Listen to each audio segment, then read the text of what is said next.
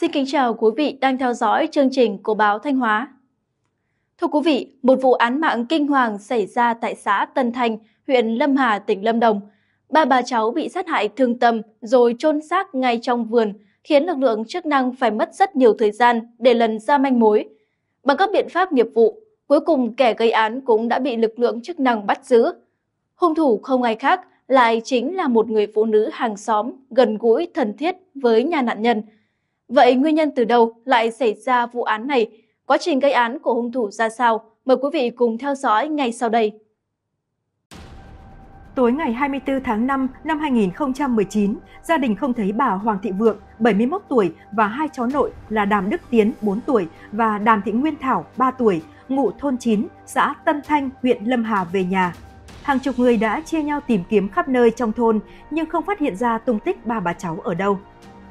Biết có chuyện chẳng lành, anh Đàm Văn Quyết, 35 tuổi, con của bà Vượng và là bố của cháu Tiến, cháu Thảo, đã điện thoại báo lãnh đạo Ủy ban Nhân dân và Công an xã Tân Thanh đề nghị được hỗ trợ lực lượng tìm kiếm. Theo Công an xã Tân Thanh, khoảng 19 giờ ngày 24 tháng 5 năm 2019, đơn vị nhận được trình báo từ anh Đàm Văn Quyết là bí thư đoàn xã Tân Thanh về sự mất tích bí ẩn của ba bà cháu từ trưa cùng ngày. Thường ngày, bà Vượng ở nhà chăm coi hai cháu nhỏ và chỉ đưa các cháu đi chơi quanh quẩn ở một số gia đình người thân quen trong xóm. Ngay khi nhận được thông tin, công an xã đã cử lực lượng xuống địa bàn tổ chức tìm kiếm các nạn nhân, đồng thời báo cáo sự việc lên trực ban công an huyện Lâm Hà. Mặc dù lúc này đã khuya, đường vào hiện trường khá xa, nhưng lãnh đạo công an huyện vẫn chỉ đạo các tổ công tác khẩn trương xuống cơ sở, phối hợp với công an xã tìm kiếm những người mất tích. Một số người dân địa phương cho biết vào trưa cùng ngày họ vẫn nhìn thấy ba bà cháu trên đường khu vực gần nhà các nạn nhân. Theo chị Bế Thị Bình, chú thôn 9 xã Tân Thanh, khoảng 10 giờ sáng ngày 24 tháng 5 năm 2019, bà Vượng vẫn còn dắt hai cháu nhỏ tới gia đình chị chơi.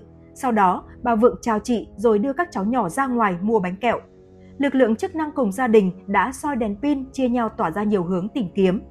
Khoảng 21 giờ cùng ngày, lực lượng tìm kiếm bất ngờ phát hiện sợi tóc dài vương trên một chiếc lá cà phê vừa bị rách thuộc dãy cà phê của gia đình bà Nghiêm Thị Nhi, 48 tuổi, ngụ tại địa phương.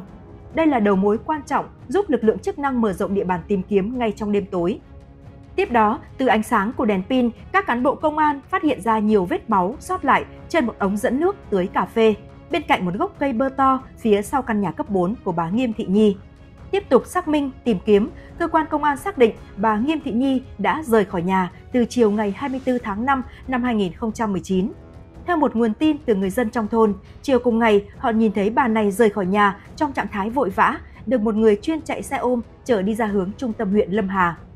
Ngay khi phát hiện sợi tóc và các vết máu, chúng tôi nhận định đã có án mạng xảy ra và tổ chức mở rộng khu vực tìm kiếm. Tuy nhiên, do trời quá tối, trong dãy cà phê hầu như không thể nhìn thấy gì một cán bộ công an xã Tân Thanh cho biết, suốt đêm ngày 24 tháng 5 năm 2019, cơ quan công an đã cắt cử người canh gác bảo vệ hiện trường, đồng thời tổ chức truy tìm đối tượng Nghiêm Thị Nhi.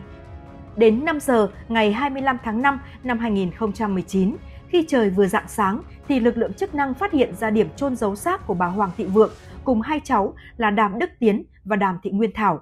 Vị trí này cách nơi phát hiện vết máu khoảng 50 mét. Sáng sớm cùng ngày, đối tượng Nghiêm Thị Nhi cũng đã bị cơ quan công an kịp thời bắt giữ khi đang lẩn trốn tại nhà một người thân tại thị trấn Liên Nghĩa, huyện Đức Trọng, cách hiện trường gây án khoảng 40 km. Bước đầu, đối tượng đã thừa nhận hành vi dùng dao sát hại cả ba nạn nhân. Nguyên nhân là do xuất phát từ mâu thuẫn với gia đình bà Hoàng Thị Vượng trước đó. Đối tượng khai rằng vào năm 2018, anh Đàm Văn Quyết, con trai bà Vượng, bố hai cháu nhỏ, đã điền sai thông tin trên giấy chứng minh nhân dân trong hồ sơ làm thủ tục vay ngân hàng, gây khó khăn cho việc vay vốn. Trước đây, Nhi từng bị gia đình bà Vượng nghi ngờ lấy trộm điện thoại nên vẫn giữ mối thù trong lòng, chờ có cơ hội sẽ trả thù. Tuy nhiên, đây chỉ mới là lời khai ban đầu của đối tượng. Cơ quan công an đang tích cực đấu tranh để làm rõ thêm. Một cán bộ điều tra công an huyện Lâm Hà trực tiếp tham gia điều tra phá án cho biết, Khoảng 9 giờ 30 phút ngày 24 tháng 5 năm 2019, bà Hoàng Thị Vượng đưa hai cháu nội là Đàm Đức Tiến và Đàm Thị Nguyên Thảo đi chơi. Sau khi mua bánh kẹo cho hai cháu tại một tiệm tạp hóa trong thôn, ba bà cháu tiếp tục lên nhà ông Bế Văn Sơn, 57 tuổi gần đó chơi. Khi đi ngang qua nhà đối tượng Nghiêm Thị Nhi, ba bà cháu nhìn thấy cây bơ to sau nhà có nhiều quả, nên bà Vượng đã đưa hai cháu bé ghé vào để xin vài trái. Tuy nhiên, do Nghiêm Thị Nhi vốn có mâu thuẫn với anh Đàm Văn Quyết và bị nghi ngờ lấy trộm điện thoại di động nên mâu thuẫn ngày càng trầm trọng. Kể từ đó, Nghiêm Thị Nhi trở nên hận thù gia đình anh Quyết.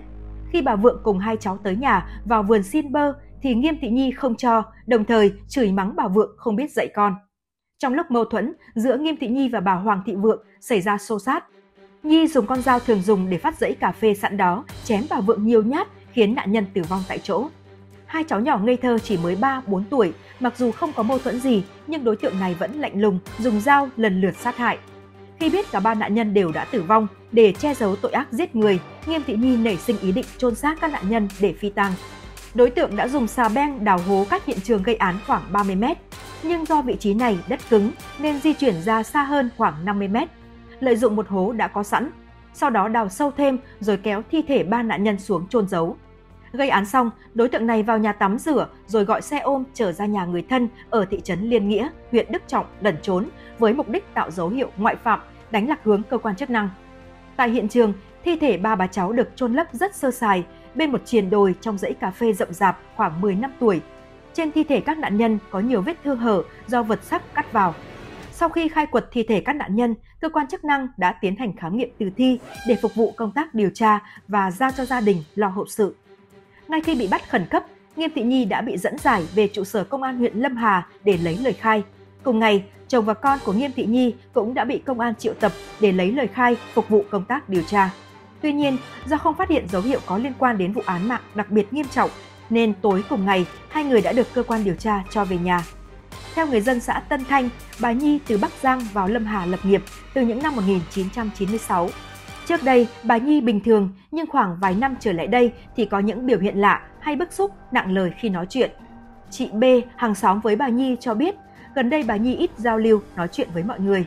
Chị này cũng tiết lộ khoảng năm 2018, bà Nhi có mâu thuẫn với anh Đàm Văn Quyết, 35 tuổi, bí thư đoàn xã Tân Thanh, con trai bà Vượng, cha của hai cháu Tiến Thảo liên quan đến việc làm giấy tờ. Ngoài ra, giữa gia đình anh Quyết và bà Nhi còn xảy ra xích mích liên quan đến việc gia đình anh này nghi bà Nhi lấy trộm điện thoại. Sáng ngày 15 tháng 5 năm 2020, Tòa án Nhân dân tỉnh Lâm Đồng xét xử sơ thẩm vụ án mạng kinh hoàng. Ba bà cháu bị hàng xóm giết hại dã man. Bị cáo là nữ hung thủ Nghiêm Thị Nhi, 49 tuổi, ngụ thôn 9, xã Tân Thanh, huyện Lâm Hà, Lâm Đồng. Sau khi chém chết ba bà cháu, Nhi đã đào hố chôn các nạn nhân trong vườn cà phê nhà mình rồi bỏ trốn. Đến ngày 28 tháng 5 năm 2019, cơ quan cảnh sát điều tra công an tỉnh Lâm Đồng khởi tố bắt giam nữ hung thủ Nghiêm Thị Nhi về hành vi giết người. Cũng theo cáo trạng, thời điểm này có thông tin Nhi có dấu hiệu bị tâm thần nên cơ quan điều tra và Viện Kiểm sát Nhân dân tỉnh Lâm Đồng thống nhất trưng cầu giám định tâm thần với bị can Nhi. Tại bản kết luận giám định pháp y tâm thần của Viện Pháp y Tâm thần Trung ương Biên Hòa kết luận Nghiêm Thị Nhi bị bệnh rối loạn nhân cách Paranoid. Tại thời điểm gây án, đương sự bị hạn chế năng lực nhận thức và điều khiển hành vi. Hiện nay, đương sự đủ năng lực nhận thức và điều khiển hành vi. Kết thúc phiên tòa, hội đồng xét xử tuyên phạt nữ hung thủ Nghiêm Thị Nhi án tù trung thân, đồng thời buộc bị cáo bồi thường thiệt hại cho gia đình nạn nhân số tiền 644 triệu đồng. Những mâu thuẫn nhỏ nhặt tích tụ lâu ngày rất có thể sẽ hình thành nên vụ thảm sát thương tâm giữa những người hàng xóm với nhau. Mong rằng qua vụ án đau thương này sẽ là một bài học quý giá cho chúng ta. Đối với những mâu thuẫn nhỏ bé giữa các cá nhân, làng xóm cũng cần phải giải quyết triệt đề, nếu không để hình thành mối hận thù sâu sắc, dẫn đến những hành động tàn ác khó lường, từ đó hạn chế thấp nhất những chuyện đau lòng. Chương trình đến đây đã hết. Xin chân thành cảm ơn quý vị đã quan tâm theo dõi.